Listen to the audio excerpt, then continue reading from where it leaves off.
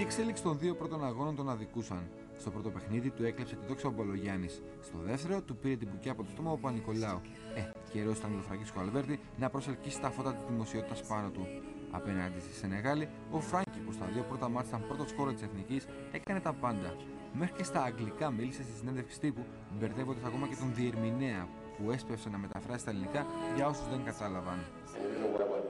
It took him a while. He said he was unsatisfied with their performance. He said it took him a long time to get their tempo going. Why? Ε, Γιατί πήρε τόσο, τόσο χρόνο να, βρούμε το, να βρει το ρυθμό η ομάδα. You can't play every game uh, as you want. Otherwise, you know the result before the game. Sometimes it happens to have uh, some up and downs uh, at the game. We didn't play well uh, first half, but second half, I think uh, we play what we want and we get the winning. Well, you have an answer.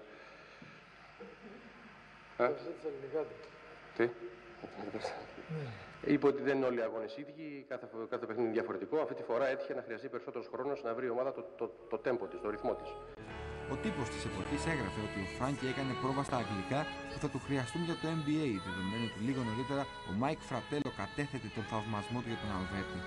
Αυτός που τα χρειάστηκε πάντως ήταν ο Παναγιώτης Φασούλας που θα περίμενε κόντρα στους Σενεγαλέζους να ξεκουραστεί λίγο, αλλά αναγκάστηκε να παίξει 16 οργισμένα λεπτά, τα περισσότερα εκ των οποίων βρίζοντας θεούς και δαίμονες. Καθώς οι αλλοπρόσαλοι Σενεγαλέζοι, με στυλ εντελώς ξένο προ τα καθιερωμένα, ήταν μέσα στο παιχνίδι μέχρι το τέλος. Τέλος καλό, όλα καλά όμως και η Ελλάδα προκρίθηκε στον όμιλο της δεύτερης φάσης ως πρώτη.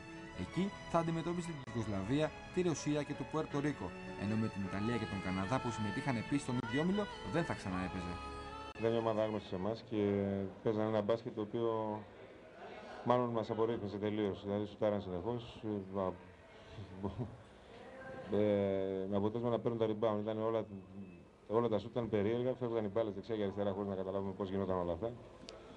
Και βρεθήκαμε να αναμενώνουμε τις επιθέσεις του συνεχώς.